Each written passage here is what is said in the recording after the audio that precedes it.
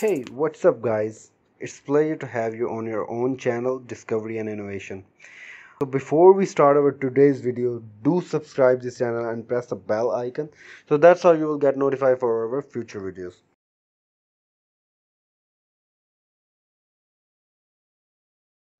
It followed from the special theory of relativity that mass and energy are both are but different manifestations of the same thing, a somewhat unfamiliar conception for the average mind.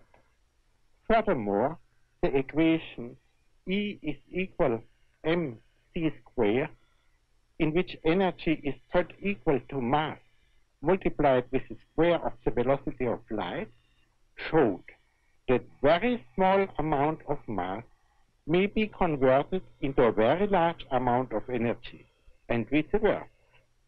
The mass and energy were in fact equivalent, according to the formula mentioned above.